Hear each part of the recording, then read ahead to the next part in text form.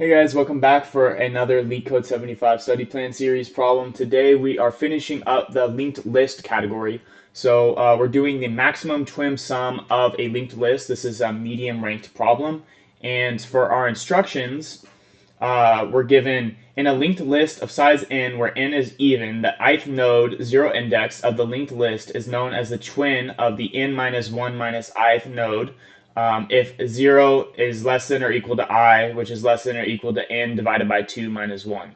For example, if n equals 4, then node 0 is the twin of node 3, and node 1 is the twin of node 2. These are the only nodes with twins for n equals 4. The twin sum is defined as the, node, as the sum of the node and its twin. Given the head of a linked list with even length, return the maximum twin sum of the linked list.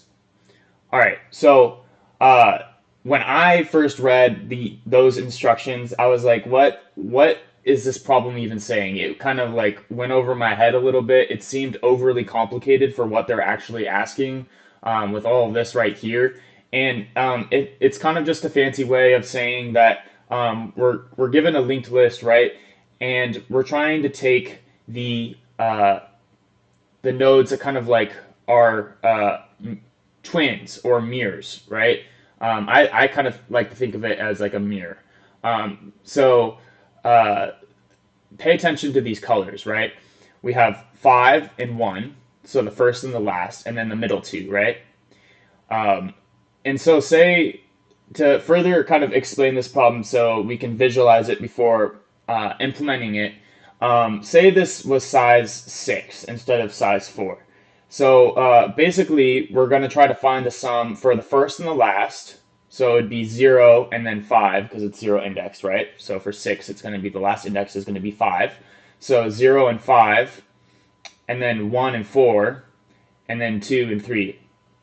That's going to be the the twin nodes, right, in, in a size 6. So um, basically, this is always going to be um, an even amount of nodes. So each node is always going to have its twin counterpart, and it's going to be at least size 2, right? So if it's size 2, then we're just returning the sum of those two nodes um, because that is the only possible sum, right? And basically what we're trying to do is we're trying to find the greatest sum of twin nodes in the entire linked list.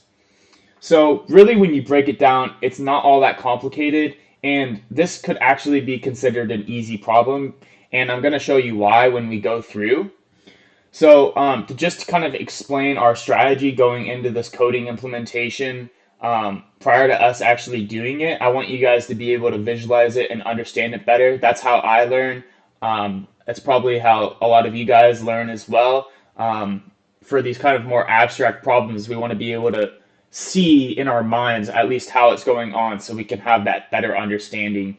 Um, so what we're going to want to do is we're gonna we're gonna uh, employ a, a double-ended queue data structure. So um, for those of you who might not know what a double-ended queue is, um, it's a queue, right? But you can take you can access either end of the queue instead of traditionally just one end, right? So uh, you guys should know what a queue is at this point. If you don't, just look it up on W3 Schools. Um, so what we want to do, right, is we want to add all of the values from the linked list to a to a, a double-ended queue. I'm just going to call it a deck, right, because that's how it's spelled out in Java. So uh, once we have all of our values in our deck, we're just going to remove the first and the last value until it's empty, because it's just going to be readjusting, readjusting, readjusting um, until it gets down to two, and then we take that sum. And then we're going to store all the sums, um, and then we're going to compare them, right? Um, so let's go ahead and dive into this. If that didn't make sense to you, then uh, I hope it makes sense um, when we're actually coding it, and you'll get a better idea of how this actually works, right? So, um, so the first thing we want to do is uh, we want to create a um, a new list node, and we're going to call this current. And this is going to reflect the uh, the current node that we're on when we're iterating through the list and adding our values, right? Um, so let's call this list node cur, and then this is we're going to set that equal to head. And then now uh, we can go ahead and uh, initialize our deck. So it's going to be integers because we're doing the, the values of the nodes are integers, right? You can see that in the definition of the nodes right here. So um, we can just call this values and uh, in order to um, initialize a deck, it's going to be um, implemented using the ArrayDeque interface. So new ArrayDeque. All right. Now we have our deck. Okay, so um, the best, easiest way to uh, get the values into the deck is using a while loop. So while cur is null, is not null, my bad. Okay, we're going to do values dot add cur dot value, and don't forget the dot val part because if not, we're just adding the node, and we have a deck of integers, not a deck of nodes. All right, and then in order to iterate through this list, we need to set it to the next value in the linked list. So cur equals cur dot next. All right, so we got that taken care of. So now what we want to do is we need to get the sums, and then we need to find the greatest sum. So we're going to have another while loop, and we're going to come, we're going to we're going to have an initial greatest sum integer, right? And we're just going to set this to zero, and then we're going to compare each sum in each iteration, right? And if it's greater than the greatest sum, then we're going to set it to the greatest sum, right? And then that's going to be able to make sure that all the values are compared, and we get the actual the actual greatest sum as our result. So um, what we're going to do is while values is not empty, right? Because we're gonna we're gonna pull each the first and the last value. So uh, we're gonna basically take it off of the queue. We're gonna take off twins from the queue in each iteration until there's no more twins left. Okay, so int sum is equal to values dot peek plus values dot peek last, right? So we're getting the front and the back, and we're just peeking right now, okay? And then if sum is greater than the greatest sum, this is just going to be one line, so I'm not going to use curly brackets. Greatest sum is equal to sum. All right, and then now what we want to do is values.pull and then values.pull last.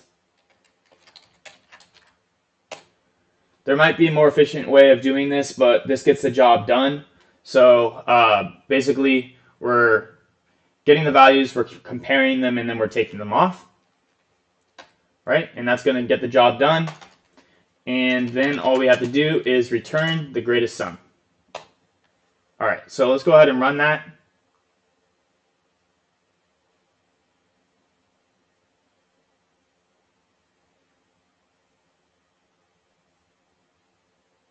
All right, I don't know why that took so long, but we have our, our first few um, test cases accepted. All right, so let's go ahead and submit it, make sure that we pass all of our test cases. And there we go, we passed it.